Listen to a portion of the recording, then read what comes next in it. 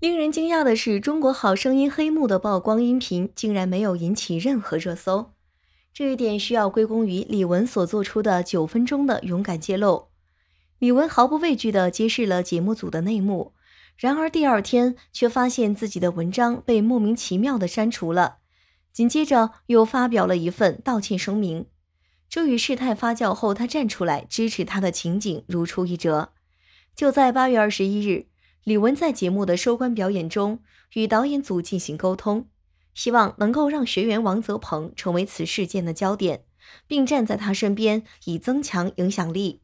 相反，在过去几天里，《中国好声音》的收视率成为了最受关注的热门话题。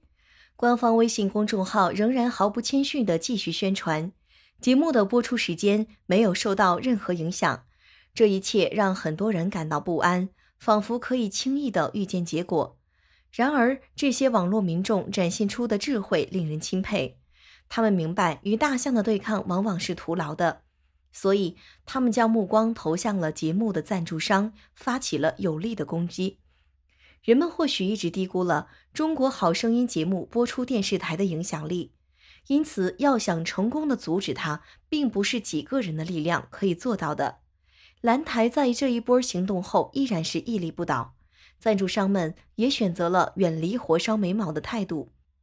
目前的情势显示，攻守联盟维持着坚实的稳定。与此同时，中国好声音这边变得是异常宁静，即使是网友在直播间呐喊，也是被置之不理。然而，网友们的智慧真是令人佩服，他们意识到，与其与巨象直接对抗，不如转向那些赞助商。寻求他们的支持，这实际上比直接与节目制作方对峙更为有效。首先，通过回顾这个节目的阴暗历史，我们可以清楚地认识到制作人和导演的真实面目，否则他们也不会采取如此不尊重明星生命的举动。其次，媒体节目的继续播出关键在于资金，主要来自广告费，即使收视率再高。如果无法获得足够的资金支持，电视节目也难以为继，因为他们无法通过其他方式盈利。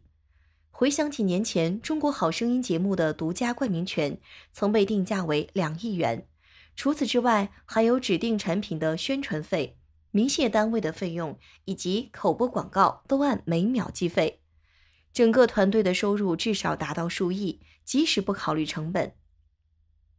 如果网友能够通过这种抵制行动让赞助商撤资，那么无疑会加速这个节目的消亡过程。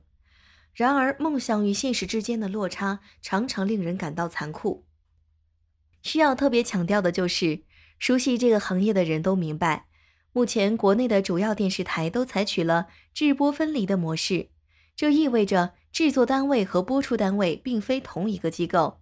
制作完成后，制作单位将作品交付给播出单位进行播放，播放单位并不会支付制作费用，而是等到广告费用产生以后，大家一起共享。因此，即使《好声音》节目失败了，蓝台也不会因此而失败。赞助商将继续支持蓝台，因为除了《好声音》，还会有其他节目。直到某个事件发生，《好声音》和蓝台才完全陷入恐慌。背后公司的股价在一夜之间蒸发了二百亿欧港元，跌至崩溃的边缘。值得注意的是，港股市场没有涨跌幅限制，这意味着好声音背后的公司一夜之间破产的可能性也是存在的。蓝台发表声明是因为好声音找他们出面的原因，这是因为股价开始下跌。我们对于好声音背后的黑幕肯定性的低估了。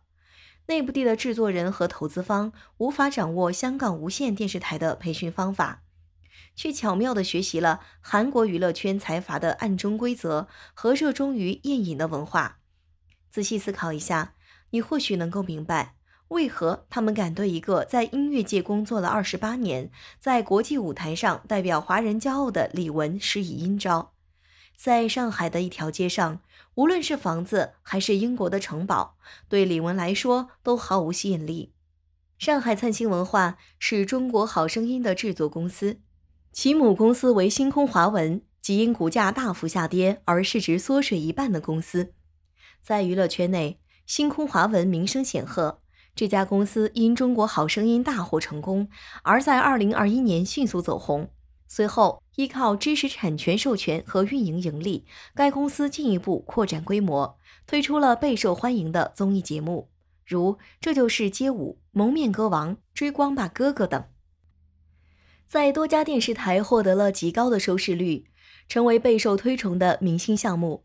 虽然在演艺界拥有领导地位。执掌多个热门知识产权节目，但是在盈利能力方面，依然是中国好声音稳居第一。在星空华文的财务报告中，我们清楚地看到他们对好声音的重要性。对他们而言，好声音简直是一个赚钱的机器。然而，观众对这个已经播出十多年的节目也开始产生审美疲劳。通过观察近年来好声音的评分变化，我们可以得出结论。它的评分曾一度从七点九下滑至四点零，同时其商业价值也在逐年减弱。因此，即使没有李玟九分钟的录音事件，《好声音》这档综艺节目的寿命也不会太长，因为目前它只是在勉力支撑。然而，在另一方面，这是人们更难以理解，为何一个本来就不处于有利地位的节目，可以如此傲慢地欺凌一位国际巨星。华人文化实际上是黎瑞刚于二零零九年创立的私募基金，又被称为华人基金，其资本规模达到了五十亿元人民币，并成为国家发改委首个通过的私募基金。然而，这家公司是由中国人创办的，虽然被称为华人，但其背后并不代表红色。同时，创始人的身份也颇具神秘感。除了他曾在上海市委工作的事实外，对他的了解极其有限。然而，黎瑞刚的妻子杨女士被尊称为“中国好声音之母”，她的高调程度远超黎瑞刚。杨女士毕业于卡迪夫大学，此前声名不佳，但却荣获了新闻新人奖。她拍摄的纪录片还获得了英国伯乐奖，同时还被选为全国青年领袖。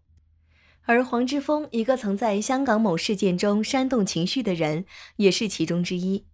华人文化在娱乐产业中扮演着重要角色，不仅是效果文化、中国好声音等知名节目的赞助商，还几乎涵盖了国内所有为人熟知的娱乐项目。而华人文化也在娱乐圈中出现一些混乱局面。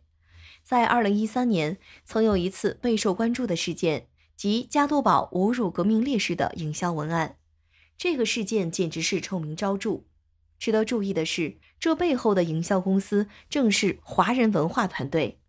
他们之前还曾持股过投资一家被投诉不合规的互联网金融公司。